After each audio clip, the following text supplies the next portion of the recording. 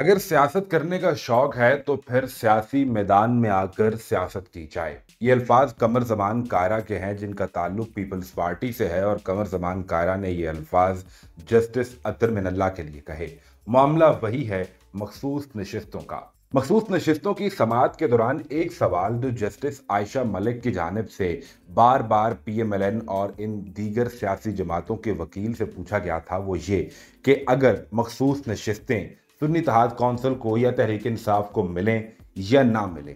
آپ کا ان سیٹوں سے کیا لینا دینا ہے؟ لیکن اب کمر زمان کائرہ نے جس طریقے سے جسٹس اطر من اللہ کو شدید ترین تنقید کا نشانہ بنایا ہے اس سے سمجھ آنا شروع ہو گیا ہے کہ ان سیٹوں سے دیگر پارٹیز کا کیا لینا دینا ہے۔ سب کو ہی حصہ چاہیے۔ اب تو پی ایم ایل این اور پیپلز پارٹی میں بھی اقتدار کی حوث آپس میں سیٹیں بانٹنے اور وزارتیں بانٹنے پر تعلقات اس نہج پر پہنچ گئے ہیں کہ خدا خدا کر کے پی ایم ایل این کو بجٹ منظور کروانے کے لیے پیپلز پارٹی کی منت کرنا پڑی۔ کمر زمان کائرہ سے جب یہ سوال پوچھا گیا کہ اس وقت سنی اتحاد کونسل کی مخصوص نشستوں کا جو کیس عدالت میں موجود ہے، اس کا ایک قانونی پہلو ہے اور دوسرا سیاسی پہلو ہے۔ قانونی پہلو کا فیصلہ تو عدالت کرے گی کہ سیٹیں کسے ملنی ہیں، ملنی بھی ہیں یا نہیں۔ لیکن سیاسی پہلو کے اوپر جب سوال پوچھا گیا تو کمر زمان کارا نے کہا کہ اگر سیاست ججز نے کرنی ہے تو پھر وہ سیاسی میدان میں آ کے سیاست کریں۔ قانون کی بات انہیں عدالت میں کرنی چاہیے، وہاں سیاسی بات نہیں کی جانی چاہیے۔